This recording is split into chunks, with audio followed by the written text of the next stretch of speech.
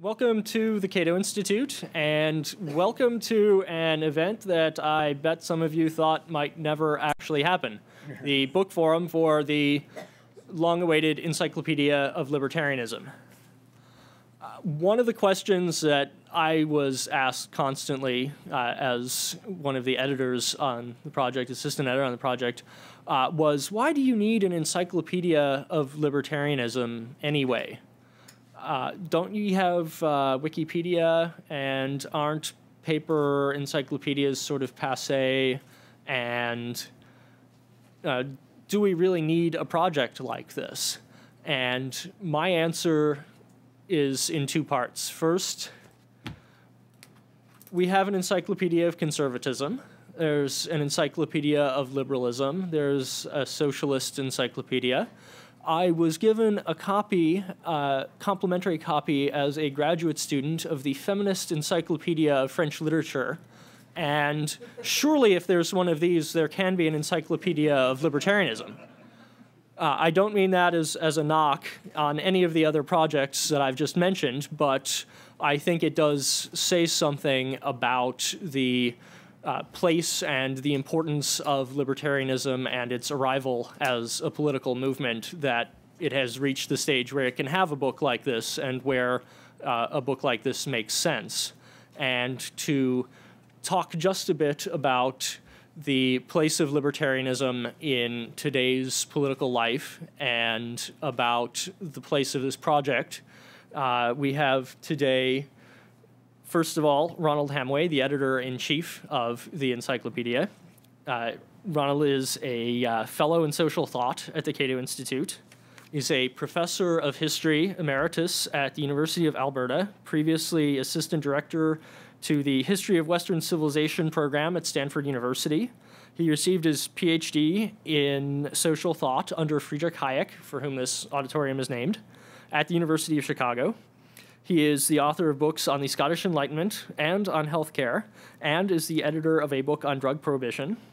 And he is also the editor of the Liberty Press edition of Cato's Letters, and of course, of the Encyclopedia of Libertarianism. So he's going to say a few words.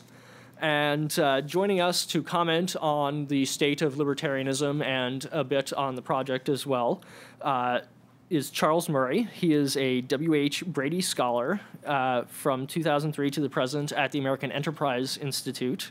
He is well known for his many very controversial at times, but also very insightful books about American social policy, including Losing Ground, American Social Policy 1950 to 1980, In Pursuit of Happiness and Good Government, The Bell Curve, and also most recently, uh, his book, Real Education Four Simple Truths for Bringing America's Schools Back to Reality. Uh, we had a book forum on that book uh, just recently, and uh, he also is currently discussing his work on uh, that book at Cato Unbound, which I also happen to be involved with. Uh, and also to discuss uh, libertarianism and the state of the movement and the encyclopedia will be William Galston. He is the inaugural Ezra K. Zilkha Chair in Governance Studies at the Brookings Institution. Uh, he's a former deputy assistant to the president for domestic policy under President Clinton. Uh, he's been the executive director of the National Commission on Civic Re uh, Renewal. He's a uh, fellow at the Woodrow Wilson Center, director of economic and social programs at the Roosevelt Center for Ec Economic American Policy Studies, and so obviously is something of an expert on American domestic policy. He has written on political campaigns and elections and is currently focusing on the project of designing a new social contract as his website says, and the implications for uh, and the implications of political polarization. To give you an idea of where this research or this writing is going, and why I thought it might be interesting uh, to bring to to bring his perspective to this forum, uh, here's just a taste of this. Uh, I'm quoting your words here, if you, if you don't mind. Uh, to the extent, to the extent, uh, to the extent that markets cannot police themselves or provide reasonable returns for workers, government will have to step in. Through the public mobilization of capital and will, We must supply public goods, investment in infrastructure, research, and post secondary education, among others, that we have neglected at our peril. And many millions of Americans will be unable to save for the future without new forms of public encouragement and support. In short, we need nothing less than a new social contract that reorganizes responsibilities among government, individuals, and the private sector. So, uh, hopefully, this will be an interesting and lively discussion, and I will now hand over the floor to Ronald. Thank you.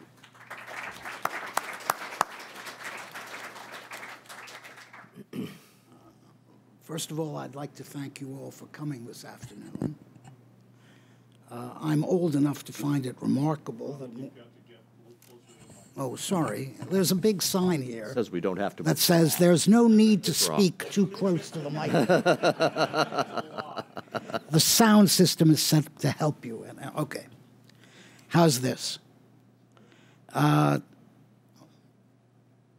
I was about to say that I find it remarkable that there are more than a handful of people here uh, to launch an encyclopedia of libertarianism. Uh, indeed, as remarkable as I uh, found it that we were able to locate so many writers who contributed to this volume. Uh, I hope you will allow me to uh, recount my own experiences with becoming a libertarian. While in high school, that was during the Neolithic age, I, like most others of my age, embraced the standard social democratic sentiments that were then prevalent. A period when an extensive welfare state seemed the only political system consistent with a robust and caring society. We leaned toward uh, libertarianism on most social issues drugs, alcohol, sex, censorship. Uh, but we firmly identified ourselves with wholesale government intervention in the economy. Indeed, the more intervention, the better. However, I was fortunate enough to have as a friend from sixth grade on someone who, for some odd reason, was fascinated by economics. It's hard to believe that any 15 year old could be fascinated by economics, but he was. And indeed, he spent his junior high school years not worrying about what other people his age usually worry about, but in reading Adam Smith and in constantly hectoring us with his pro market views. We, as friends, thought it somewhat bizarre, but since we were all unconventional in our, own private ways, we were able to accommodate his own peculiarities. It was this friend, uh, his name was George Reisman, who finally penetrated my basically ignorant embrace of all consuming government that would direct the production and distribution of wealth in the interests of equity and the well being of all citizens. We were arguing one day. I then fancied myself fairly knowledgeable about economics, uh, having, ta- having, having taken a couple of courses from socialist professors at the School of Industrial and Labor Relations at Cornell when he posed the following question to me. In the absence of a basically unhindered market, if you were to have a ton of steel and the choice of making either 100 refrigerators or 1,000 toasters, on what basis would you decide which to make and how many of each? Not having a ready answer, I of course replied that the question was ridiculous and that there were obvious ways to determine this. And at that point, I very quickly changed the subject. But the question kept gnawing at me, and as weeks went by, I realized I simply didn't have a clue as to how to solve this problem. The result was that I learned some real economics, and some months later, joined George in attending Ludwig von Mises's seminar on Thursday evenings at New York University. At the same time, I was introduced to Murray Rothbard and the very small group of students with whom he was friendly Ralph Raico, Leonard Liggio, Bob Hessen, and George. At that time, around 1956 or 57, to cast your lot with Murray Rothbard was to cut yourself off from all serious social or political discourse from practically anyone else. Indeed, were you to make your views known either among your non libertarian friends or instructors, in New York, essentially everyone outside Murray's living room, you'd be regarded as flirting with mental illness. Your views were laughed at as farcical, and nothing you could say at that point would be taken seriously. I remember being addressed one day by one of my professors at Cornell as a member of the Flat Earth Society and asked whether any one of my friends had fallen off the edge of the earth yet. We were an extremely small group, a half dozen Rothbardians and a handful of pro market students who attended Mises' seminar. The social democratic orthodoxy then in place seemed truly invulnerable, and it brought the few of us who had rejected it closer together, happy in the company of each other, while the world was going to hell. It's indicative of the status and respectability of anyone supporting free markets that two of the most distinguished economists, Mises and Hayek, were able to obtain positions in American universities only because their salaries were underwritten by a foundation funded by a Kansas City window shade manufacturer. In 1960, I entered graduate school at the University of Chicago to work under Hayek, and there found for the first time professors who did not regard libertarian views as crackpot. Besides Hayek, Milton Friedman, and several other economists were lecturing and writing about the destructive effects of government intervention in the economy. However, this group of economists, even at Chicago, represented a very small proportion of the faculty and an even smaller segment of the student body. It's indicative of the views of the great mass of students that in 1956, the University Republican Club supported Adlai Stevenson. The largest assemblage of students I saw Adlai Stevenson was the Democratic candidate. The largest assemblage of students I saw in my three years there was for the first meeting of the Fair Play for Cuba Committee in 1960. Now, contrast these early years, which are now almost half, half a century ago, with the situation that prevails now. Not only can libertarianism boast several foundations whose budget is in the millions of dollars, tens of thousands, possibly many more adherents, and a political party with a membership of over 200,000. There are libertarian academics at dozens of universities, and it's no longer suspect to identify yourself as someone uh, who views all government projects with great suspicion. But most of all, at least in, to me, uh, was the popular, most encouraging, at least to me, was the popularity of Ron Paul's campaign this year. Despite the fact that he identified his strong libertarianism as constitutional republicanism. One of the most moving events in Paul's campaign was his hour long discussion at Google in Mountain View, California, where he spoke in front of several hundred Google employees who seemed to be unanimously enthusiastic in the reception of his message.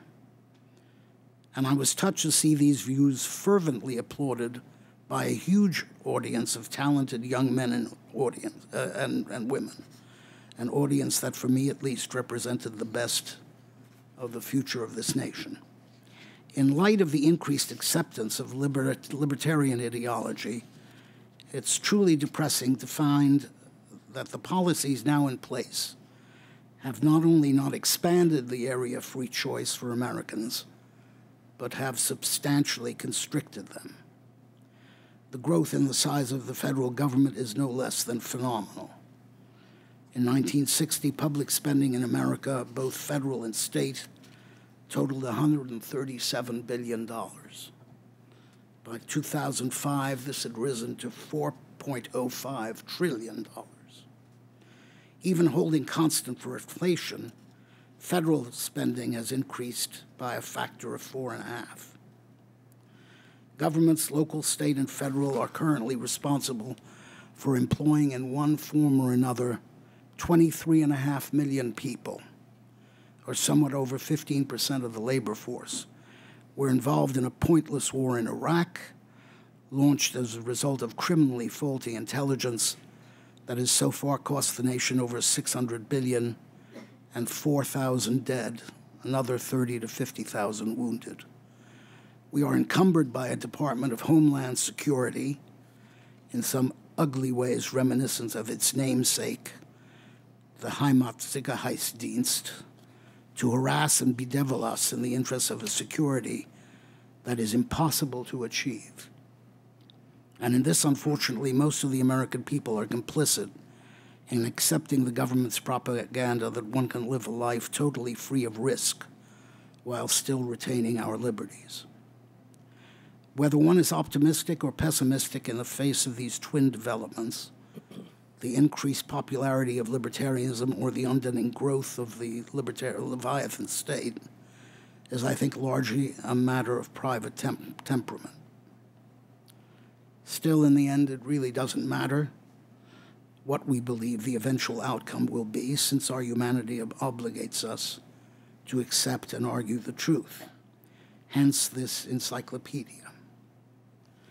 Finally, if you'll allow me, I should like to read the concluding paragraph of the introduction that I wrote for this book.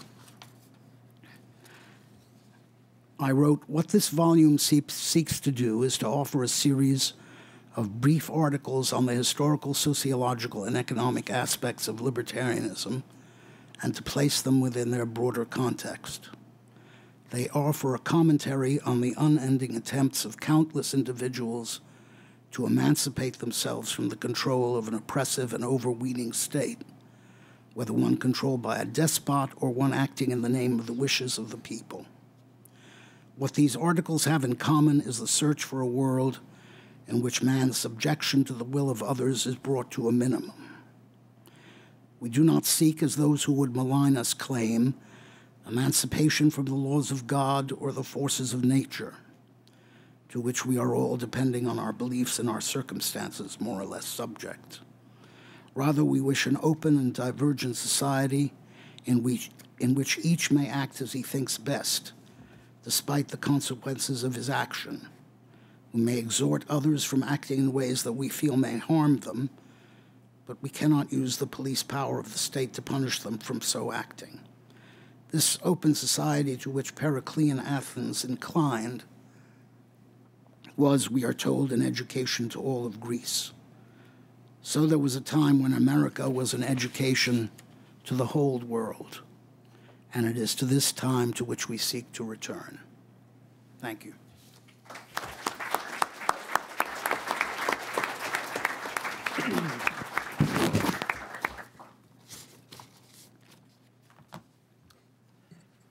So I will go first and, and uh, give Bo, uh, Bill Galston all the rope he needs to hang me with. Uh, Bill and I have appeared on stage together many times, and I've enjoyed it every time, and I expect to today.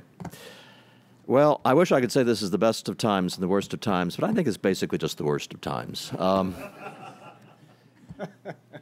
I have I have uh, lived through the arc of um, of the libertarian movement that uh, started in the 1970s. Well, it started, of course, earlier, but by, by, by the 1970s, you had Milton Friedman uh, publishing a weekly column in Newsweek magazine. You had a variety of people prior to Reagan who were beginning to get attention uh, in the public, and then you had the Reagan years, and then you had uh, uh, uh, intellectually a real ascension where the intellectual excitement in this country on issues involving public policy was involved with libertarian positions. They weren't always phrased as libertarian positions, but that was the you know that was the, the, the gravitational pull was the, the the nature of free markets and the, the values of freedom and it was just wonderful. And then we had the 1994 uh, congressional election, where Newt Gingrich thought he was doing a clever bit of marketing, I think, and actually what he did was tap into a really deep, broad uh, impulse toward limitations on government that that uh, that that seized the day, and then everything went downhill. Uh, starting, I think it's impossible to calculate the total effect that Timothy McVeigh's bombing of that Oklahoma office building had, I mean, it it just fundamentally changed the attitude toward people who were saying that government's the problem.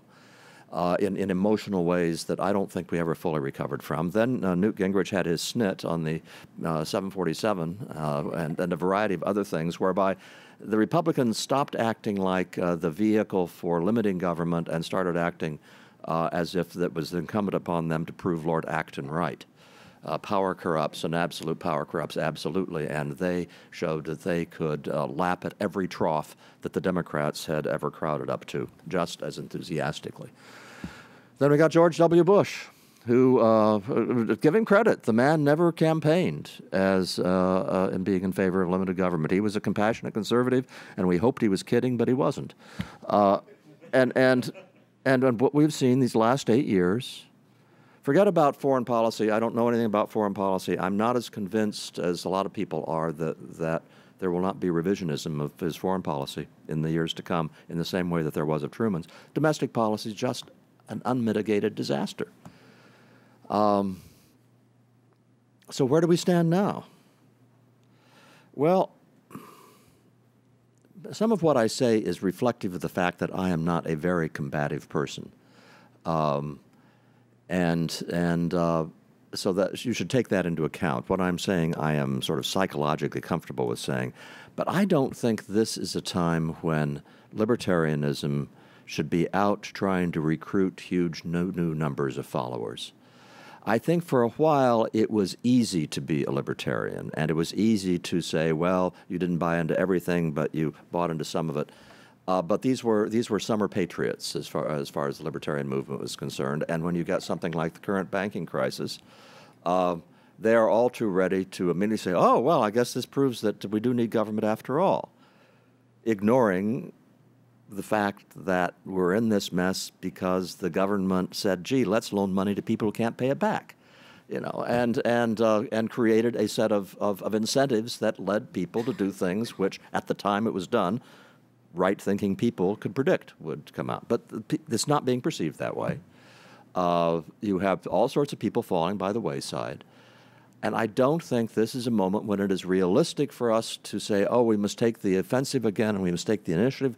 I think instead, in a way, what we need is to do is to hunker down and be really, really good at proving our case in a way which will have consequences down the road.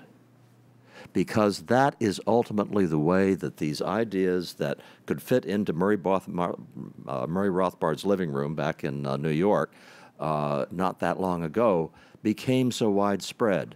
It was not just because of wonderful polemics like The Road to Serfdom, it was in economics demonstrations technical and rigorous by people like Milton Friedman and the growing band of uh, Chicago School economists who demonstrated the ways in which the market works the way they said it worked. And then what they were talking about was reality. Uh, it gained uh, it, it, gained popularity because of rigorous analyses of the way that human flourishing, human happiness, is is promoted by the kinds of things that liberty brings and is impeded and undercut by the kinds of interventions that government brings. It was promoted by, by rigorous analyses of the ways that government makes things worse uh, when it tries to intervene with complex social problems. That work must continue so that what we're aiming for is in you know, another decade or two, the same kind of understanding of the problems that are created by government interventions in social life that I think we have already pretty much achieved at an intellectual level uh, about government intervention in economic life. Because despite the problems today in terms of people saying, oh, this all proves that, that uh, you need government after all, I think within the economics departments, the basic principles that were established are going to survive. The good news is this government really does screw it up all the time, and they will continue to do so uh, with unfailing uh, regularity in the years to come. We are, I think, odds are, we are going to have a presidency under uh, Barack Obama whereby I think the guy really believes the kinds of of uh, left liberal social policies that he says he believes. I think he really thinks that they can work. And, in, and some part of me hopes that he tries them again to give us more grist for our mill. Uh, but even if he doesn't do that, as time goes on, there will be evidence that can be brought to bear on this simple proposition that the way that those of us who have resources live our lives is, in fact, through the use of the freedom that our resources give us. That those of us who are have not necessarily rich, but who have resources, use those resources to send our children to schools that we want to send our children to. We use them to live in neighborhoods that we find congenial. Uh, we use them to, to work in jobs that uh, give us satisfaction. And in all of this, what we are doing is taking a country that is not free in many ways, and we are working around the barriers that are put up uh, in, before our, our exercise of our freedom. And a great deal of what happens to poor people and people without resources in this country is that they don't have the workarounds. They don't have the resources to have the workarounds. And the fundamental message that we must give is you know what? people who aren't as lucky as we are in terms of the resources they have, we have to find ways to give them the same ability to run their own lives that we exercise because we do have resources. And the fundamental message that the way you do that is to give people responsibility for their lives uh, must ultimately have resonance. Henry Kissinger uh, is famous for uh, having said once uh, when being complimented on a policy that he, a position he had undertaken, uh, thanking the person for the compliment and saying, yes, and the position has the added advantage of being true. And in a way, I guess that that's what I am saying uh, to you, that th- there's, that at the bottom, we are right. We are right. We, all those of you in the audience who are like me, are libertarians. Our fundamental understandings of the way the world works are grounded in reality it is a reality that is easily obscured. It is a reality that is easily ignored. But it is reality, and ultimately the truth shall set us free. Thank you.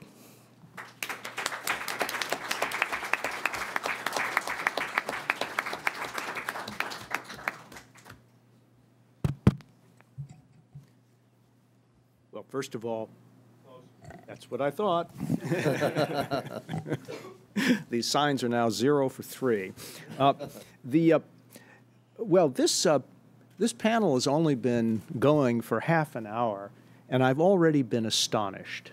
Uh, and let me tell you what astonished me. Uh, my good friend Charles Murray has just declared uh, before the assembled multitudes that he is quote not a combative person.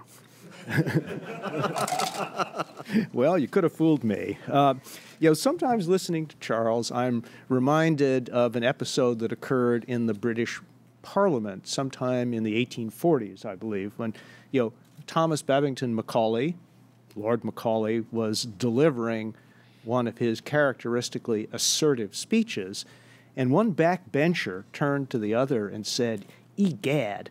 I wish I were as sure of anything as Macaulay is of everything.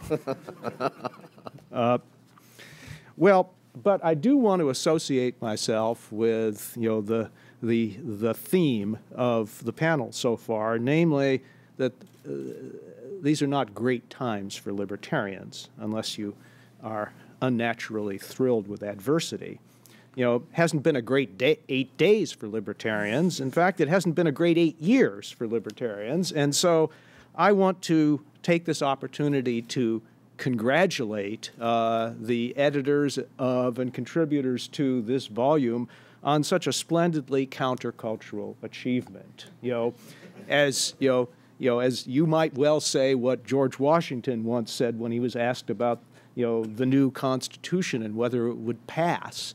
You know, and he said, I think I can quote this, you know, we have raised a standard to which the wise and honest may repair, the rest is in the hands of God.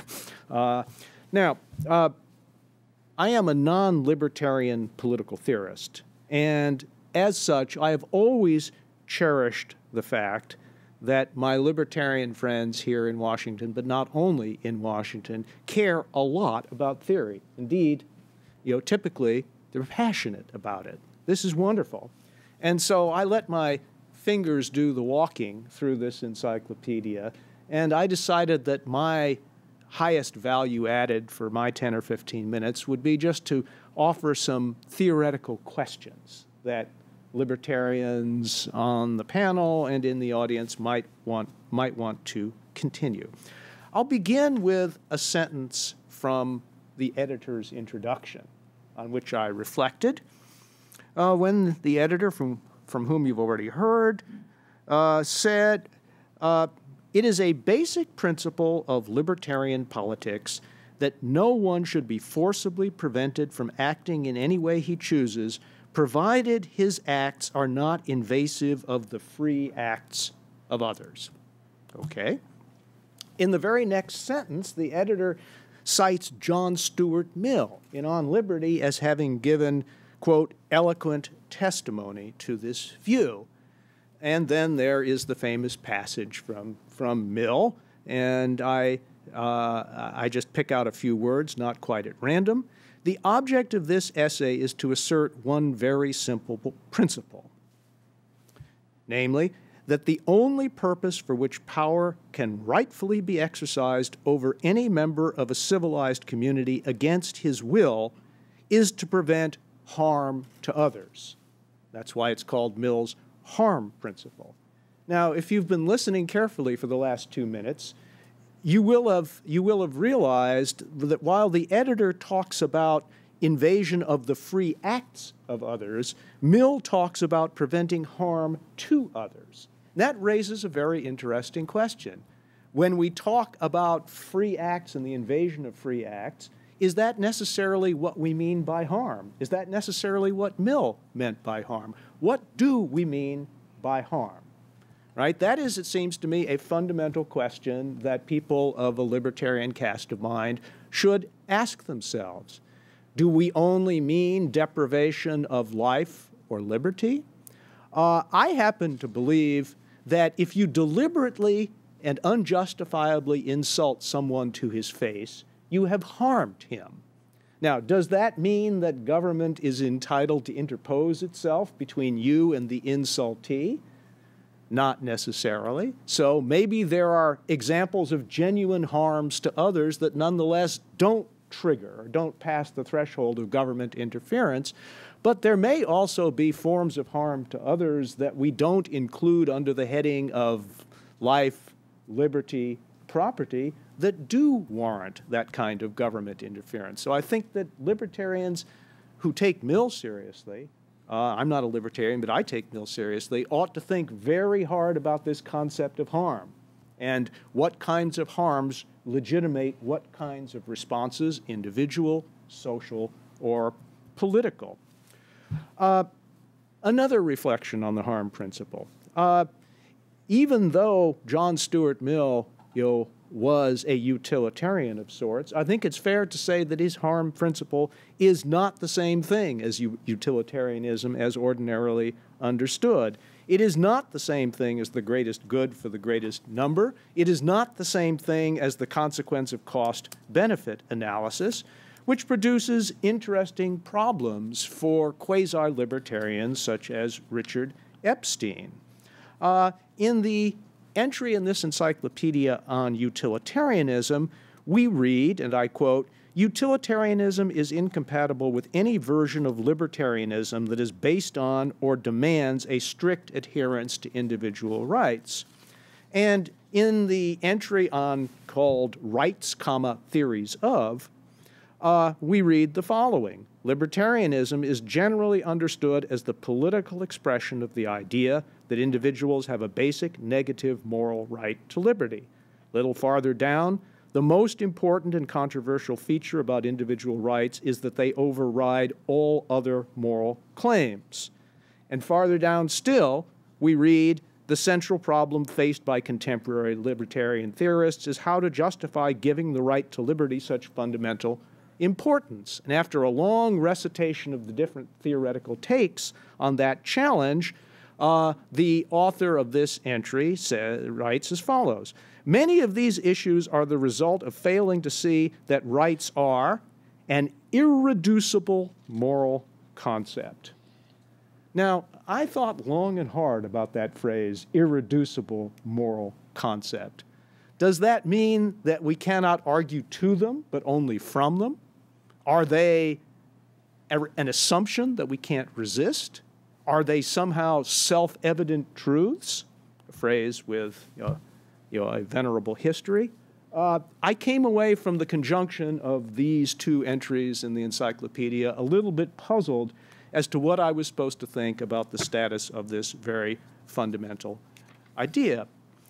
A third, a third reflection on Mill and libertarianism uh, if you read on liberty, you see very quickly that Mill's position is not the same as neutrality or even skepticism about the human good.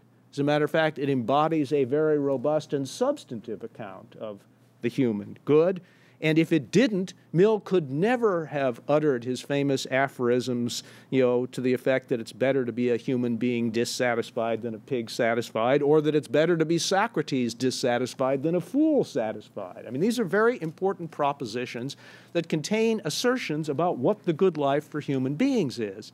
Then it becomes an empirical question what forms of social organization are most conducive to the promotion of good, the good life so, so understood. That empirical proposition, which may justify liberty in some or many circumstances on consequentialist grounds, is nothing like the kind of argument that either leads to or, or follows from the absolute priority of liberty. So once again, I'm left, I, am left a little bit, uh, you know, uh, a little bit puzzled. Uh, a couple of other reflections about this idea of harm.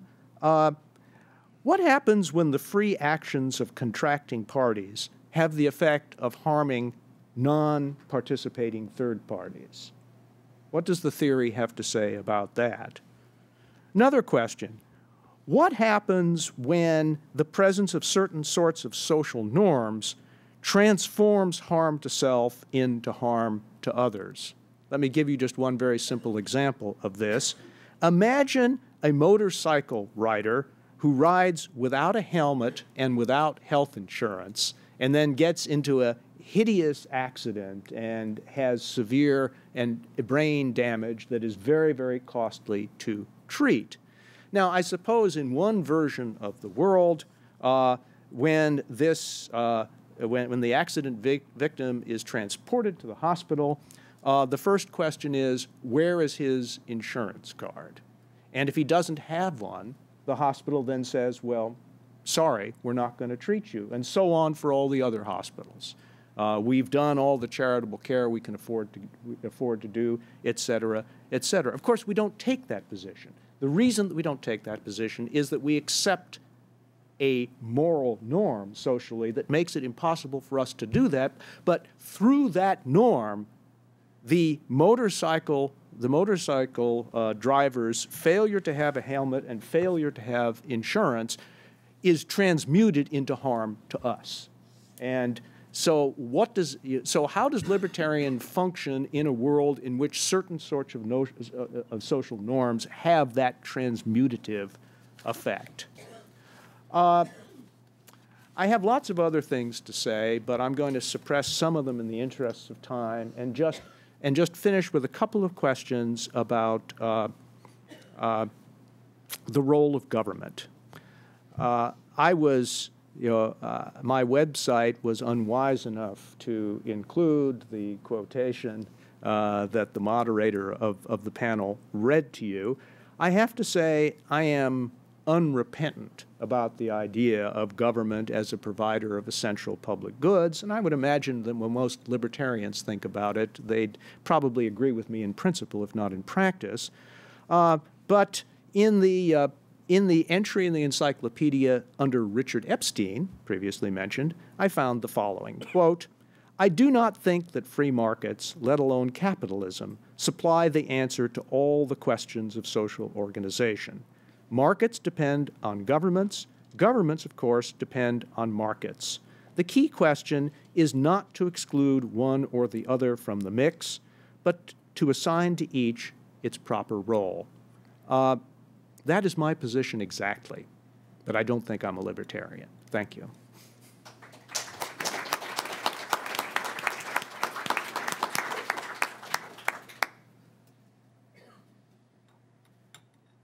Ronald, do you have anything you might want to? Oh, good grief. well, uh, you raise a number of very important issues, of course. Why don't I just swallow it? you raise a number of very important issues, and uh, I think every libertarian would have to concede that not all the problems that you suggest exists in libertarian ideology or philosophy are immediately solvable. Uh, I didn't take notes on your objections, but there are a few general comments I can make. First of all, I think it's somewhat unfair to assume that the encyclopedia takes a consistent view throughout uh, these are, after all, articles written individually by individual academics uh, and reflect the views they hold. And of course, there's legitimate disagreement even within the body of libertarian thought between one and another. Certainly, not all libertarians are utilitarians. Right. Not all of them are Chicagoite economists and so on. So there are, there are differences there. So somehow I would suggest that to take Article A and then say there seems to be a problem in reconciling the position taken here with the position taken in Article B perhaps isn't quite fair. What were, uh, now you raised about 50 points, and I'm not sure that I can remember them all. That, that was my hope.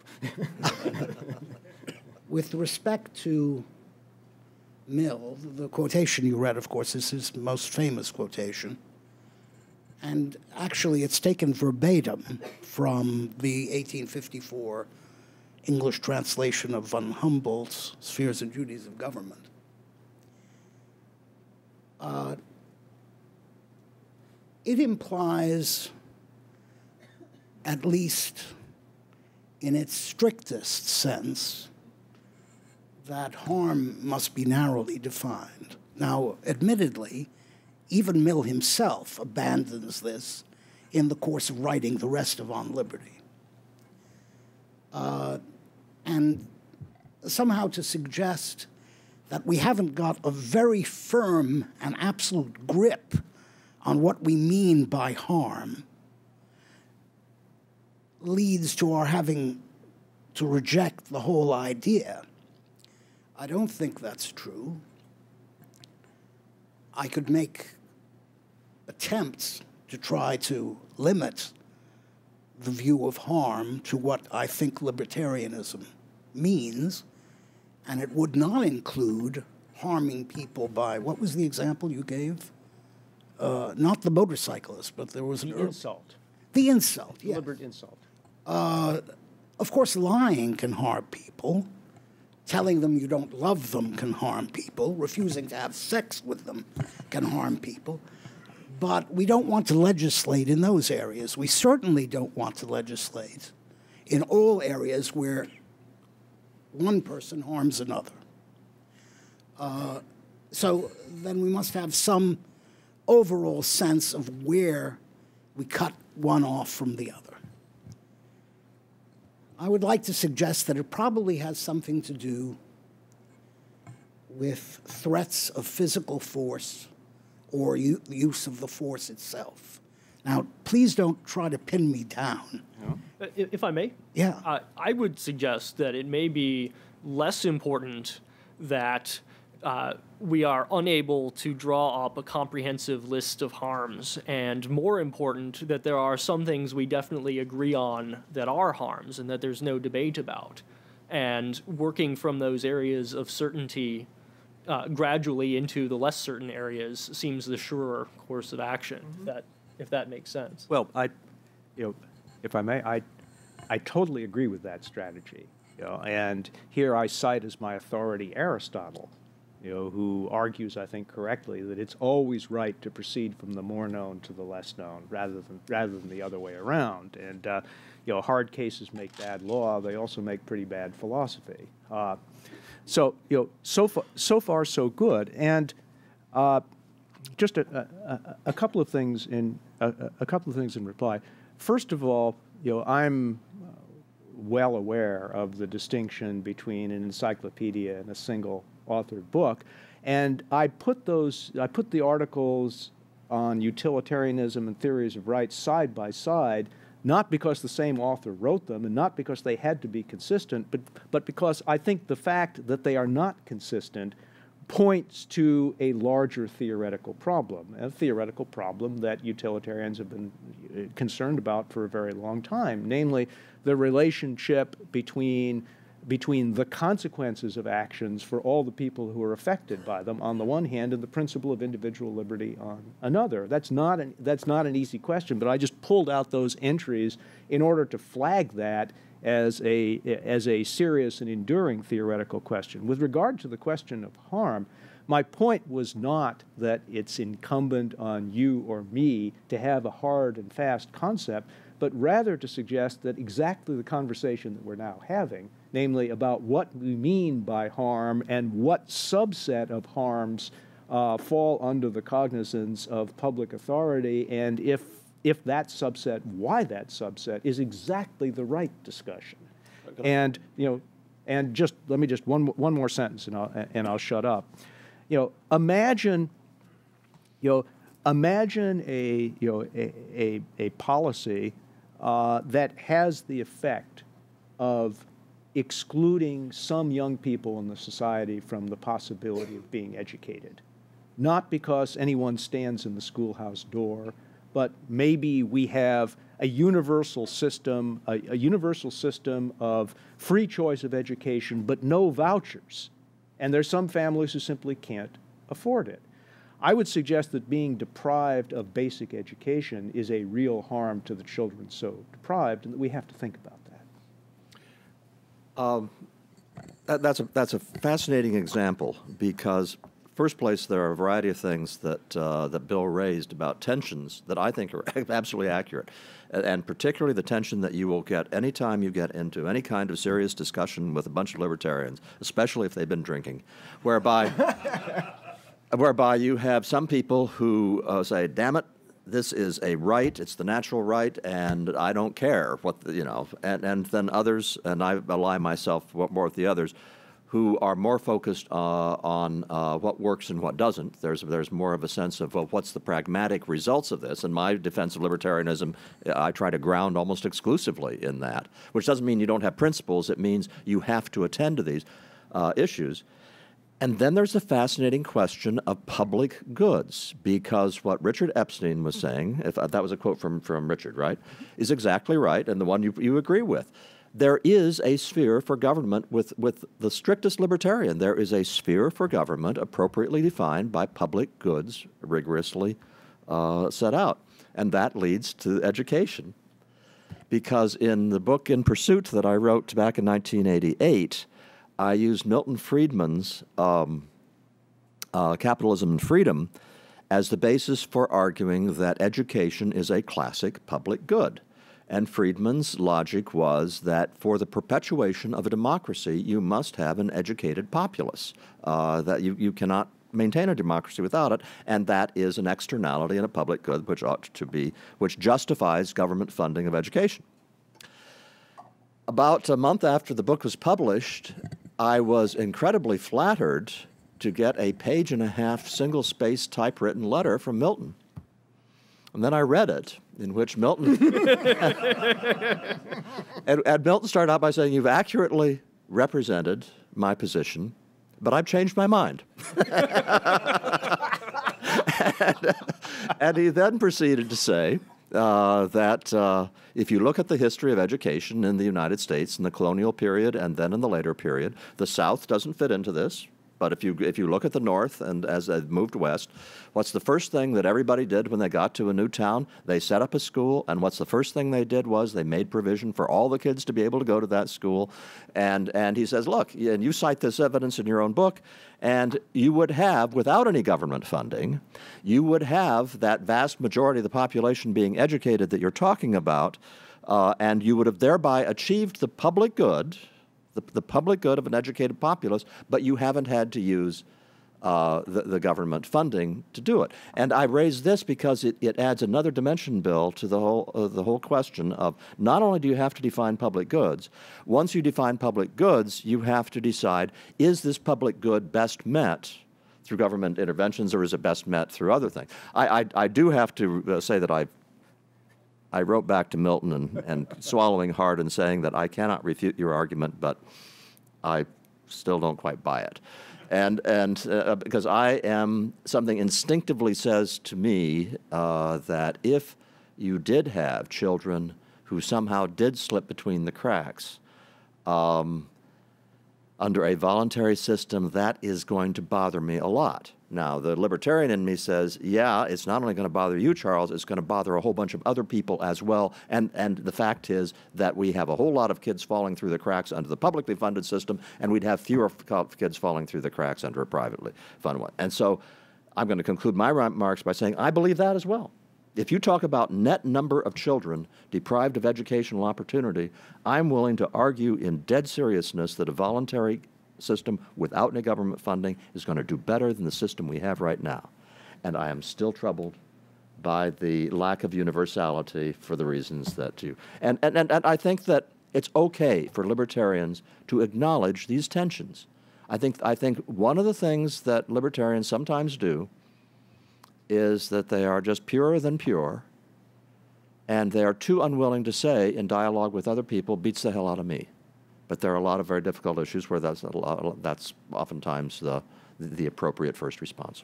I, am going to exercise my prerogative as, as moderator and open up the floor to questions. Uh, I'm sure there will be quite a few.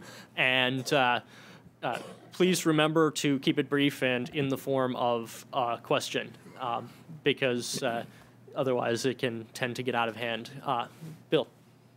May I suggest it's more productive to focus on violation of rights than, uh, than harm.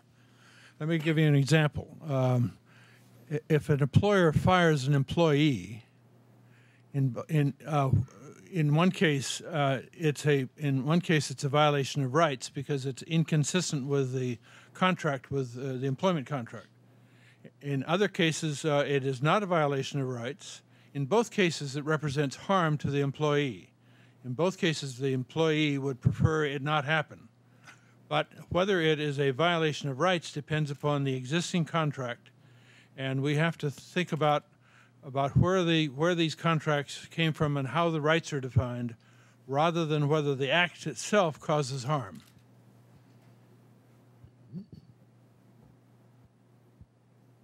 Would you like to respond to that?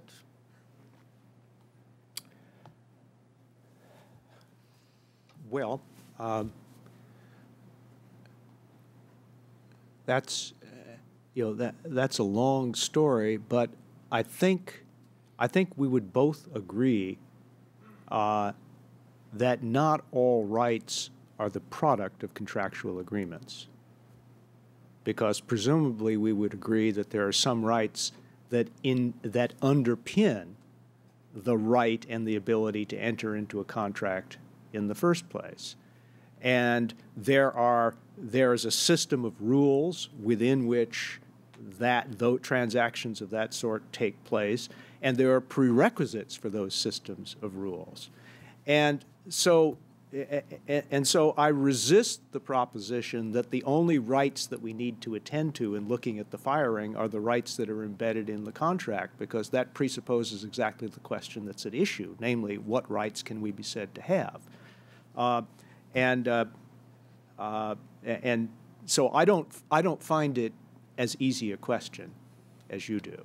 Uh, and uh, I would I would suggest that if we think about the implications of the right to be a contractor in the first place, we may be led to at least some limitations on what you can, in fact, contract to enforceably.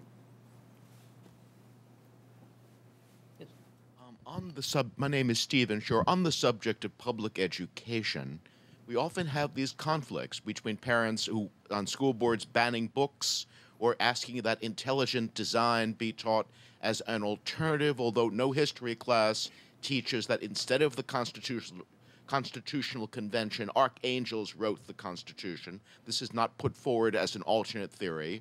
We have abstinence-only sex education, and versus a, a, a sex education that does uh, deals with the biology to, to the extent that sex is a biological function.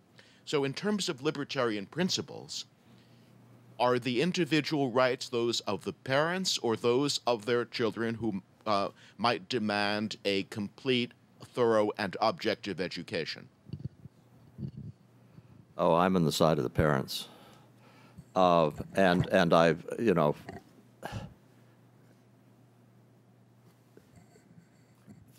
there is a tension of, uh, once again between at what point do children have have rights and and what are the extent of the rights and the rest of that. Uh, the the question that I, about about the design of the, the material that's put in the schools is such that I would I am just as unhappy about parents who want a kind of education for their children you would find objectionable not being able to get it as I am about it being imposed. So that's why for example, I think you would probably find a, an evangelical religious education uh, in a private school to be objectionable uh, in, uh, in, pedagogical terms and in terms of uh, truth value. Uh, and I would in no way want to impede the right of parents to, to send their children to such a school. Because I think that with parents, you make a, a grounded assumption that unless there is proof positive to the contrary, uh, the parents are responsible for the well-being of the children, and to interfere with that requires requires real severe motivation. Well, interestingly, starting from a very theoretical point, a very different theoretical point of departure, I reach exactly the same conclusion on this question that Charles just stated. And if I had a lot more time, I'd explain the difference of the path. Uh, but it, but it does, it, it your question does raise a more general point that I now want to put on the table. And that is that Mill's understanding of liberty and of harm and of authority is embedded in, a, in, a, in an understanding of competent agency. and that's why he restricts the sway of his theory to, quote, adults in the full maturity of their faculties. And he even goes farther in a now politically incorrect way and characterizes entire civilizations as not having reached uh, the age of maturity and competent agency.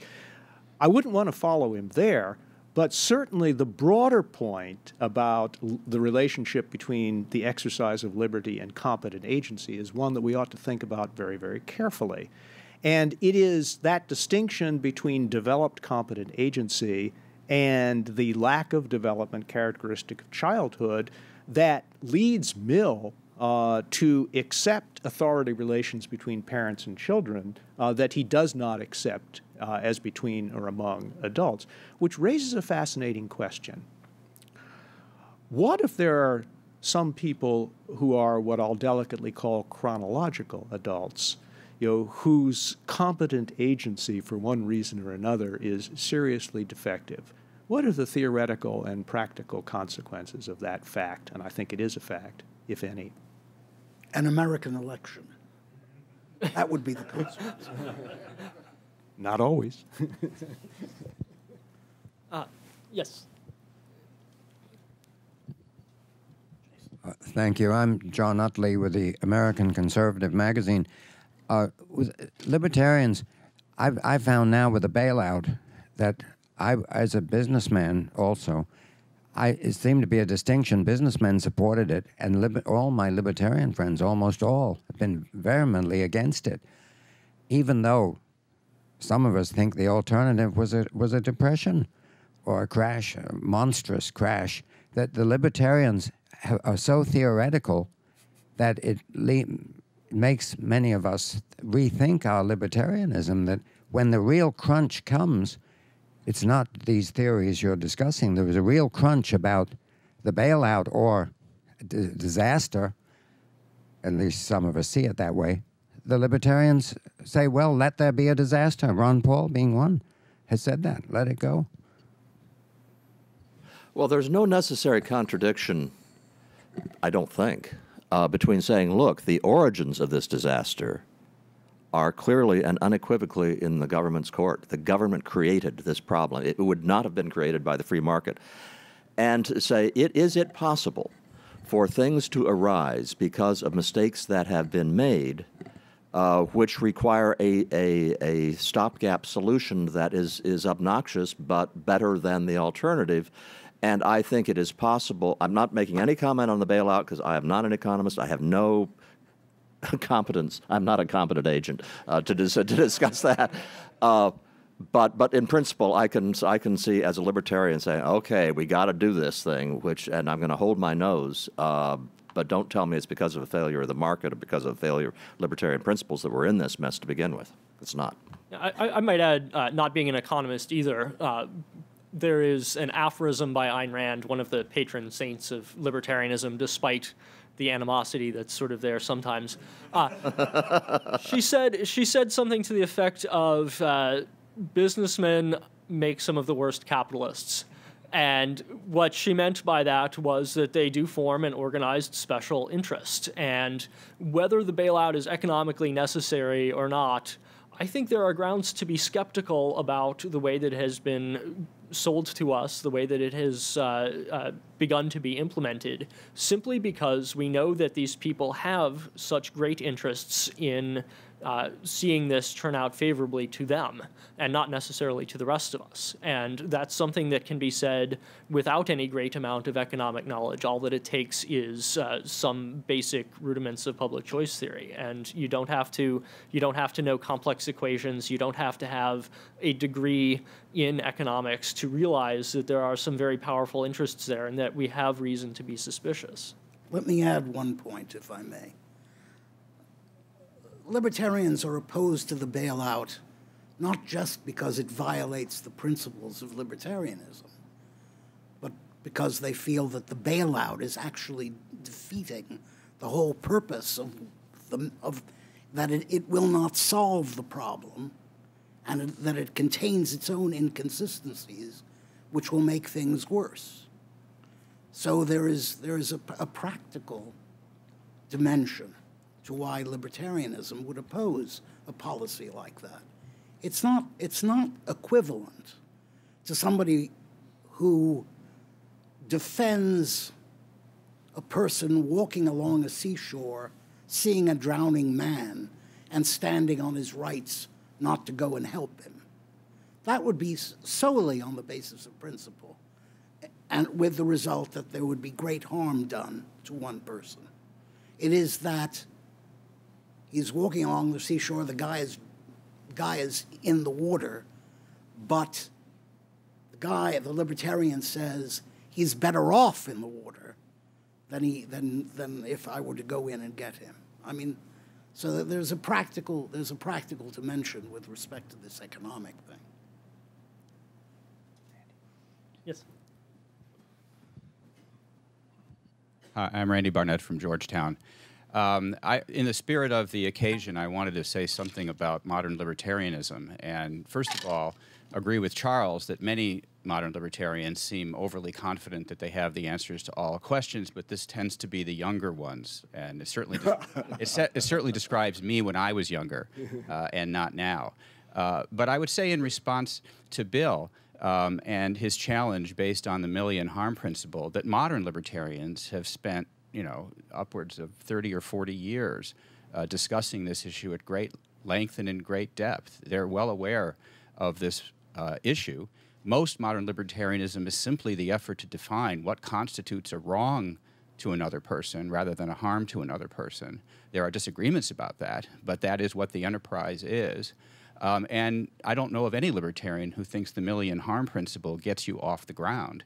Um, and so it's it's somewhat uh, this is a this is a criticism that's somewhat inaptly aimed at modern libertarians. However, there is an extraordinary intuitive appeal about a, something like a harm principle to the general public. In fact, you'd find that smoking didn't get banned until some credible harm to others story in the form of secondhand smoke studies uh, could be put forward in order to demonstrate some kind of harm to others. And given the appeal of this story, what's really striking, I think, is that all other political philosophies have a very difficult time distinguishing prohibitable harm from uh, to others from non-prohibitable harm to others. I think the political philosophy that has spent the most time trying to distinguish one from the other are modern libertarians, and virtually all other philosophies have basically said, "Well, leave it up to a vote."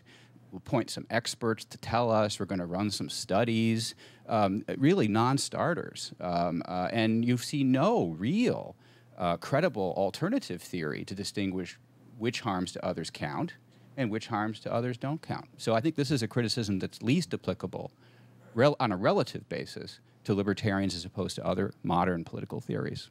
I think, I think that's, that's quite true. And in the case of smoking, as you point out, it was only when people regarded secondhand smoke as causing a physical harm and not simply a harm because they didn't like it or because they found it uh, aesthetically unpleasing or something like that.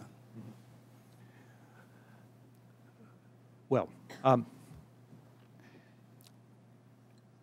A, I view that as a friendly amendment.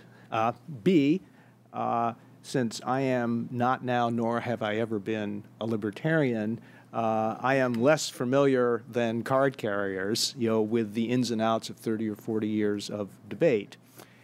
In my defense, uh, since I opened the Encyclopedia of Libertarianism in part as a genuine learning experience, I found on the very first very first page of the editor's introduction a statement of something like the wrong principle as opposed to the harm principle, and then the citation of Mill as having given, quote, eloquent expression to the principle of libertarianism that he had just enunciated. And so, treating me as the naive reader, I think I may be pardoned for inferring that libertarians are not nearly as critical of the harm principle as you know the 30 or 40 years of debate that you just cited. At the very least, my point was to indicate only that there is a problem there in the relationship between wrong and harm uh, that needs to be thought through very, very carefully because it will do all the work in practice. And I will say this on in defense of the editor, he is an extraordinary historian. And uh, but but a political theorist is not necessarily what he claims to be, and so uh, and I'm a big admirer of the editor as a historian.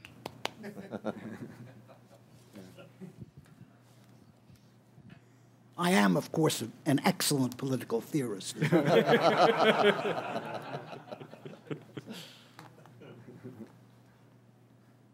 uh, way in the back. I'm David Kelley. I'm uh, oh, oh. with the Atlas Society, and uh, I have a question that springs from uh, partly from uh, vested interest, uh, if not naked greed, as uh, one of the authors of the in the encyclopedia. Um, what I know, I have some sense over the years of how much work and went into this. It, it, was an incredible process, and I know that it, it's the work of many hands. What and forgive me if you said this at the beginning because I was a bit late. what is your optimistic, um, uh, most optimistic dream about the impact of the book, where it will be, what it will mean in uh, five years, ten years, uh, whether it's by sales or by what is the readership? Optimistic?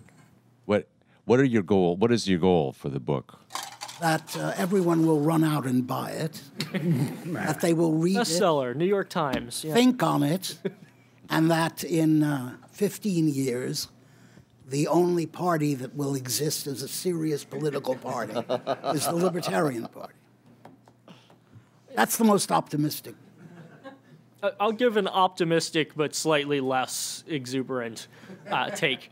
I I often find people who just completely miscategorize or or do not understand at all what libertarianism is and will say things like, "Well, you want corporations to run the government." And and I can only answer no, that has nothing to do with, and in fact is antithetical to what I want.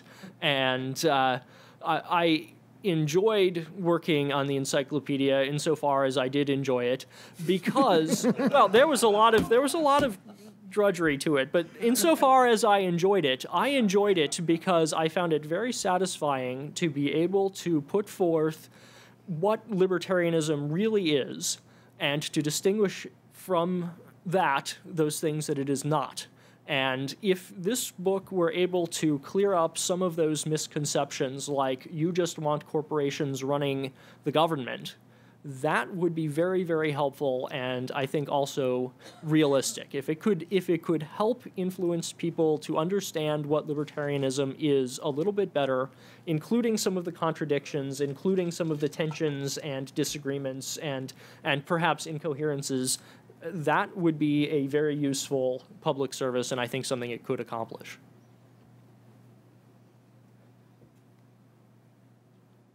One more. Bill, Bill Evers, U.S. Department of Education. I just wanted to mention in Ronald Hamowy's defense his brilliant critique of Hayek's concept of liberty, which was indeed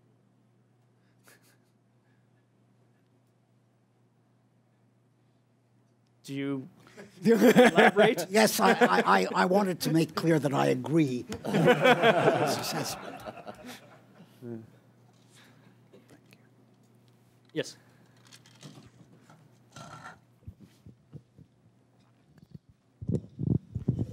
Well, I'm Mark Lerner, and I want to do the stupidest thing I've ever done, and that's disagree with Charles Murray for a second. Um, you know, I wish there was an Ayn Rand today who would come out and just every day point out how the government got us into this mess with this bailout and why it's wrong and what the terrible results of this thing could be. And I think instead of being quiet, I really wish there was a libertarian who could, you know, with her passion and energy, explain why all this is just horrible for this country. Yeah, well, if we could, if we can uh, conjure up a new Ayn Rand, I'm with you. Uh, we don't, we don't have that person right now, and I guess what I'm talking about is a is a frame of mind as much as anything else.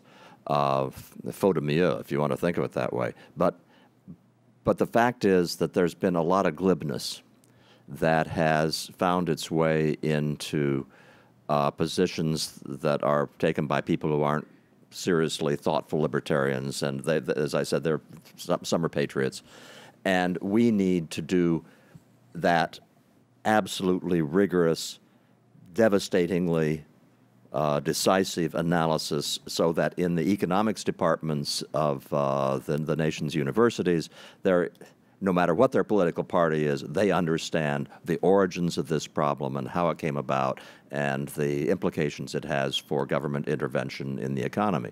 And it's going to be it's going to be a slow process, uh, but it th- there has to be a resumption.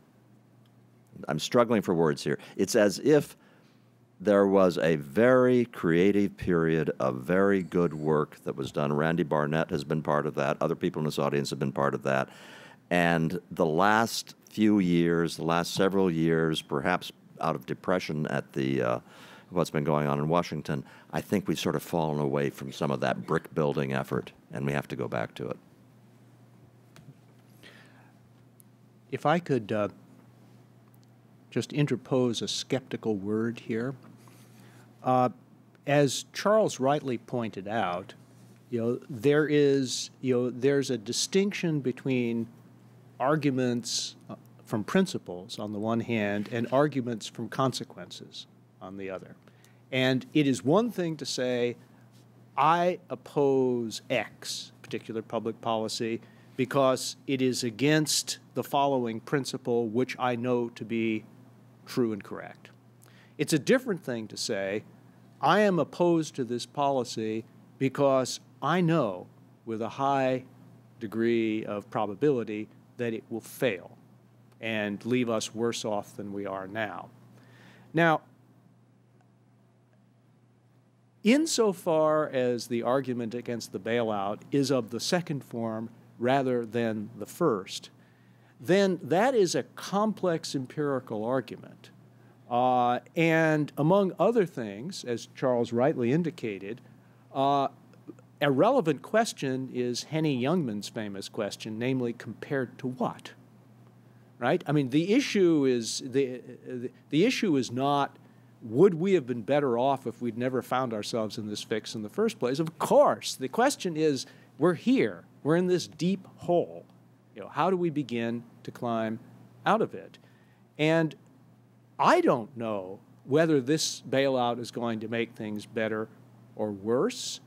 Uh, I'm not sure the people who are designing it know for sure, although they have some reason to believe that it will make things better. I'm not sure that you know whether it's going to make things better or worse if we're talking about consequences as opposed to principles. And so I guess I would throw the question back to you and say, if you are arguing on a practical basis and not a principled basis, what makes you so sure that it will fail? It's not a rhetorical question. I'm genuinely interested. What makes you so sure that it will fail? Ah, theory. you know, Can you be more specific? I'm certainly not an economic expert, but whenever you create a society where you're eliminating risk, which is basically what we're doing, there is the it's essentially the end of risk. That that that provides a very perverse incentive to the behavior of individuals. And in the long run, I think it will lead us to be much worse off in this country.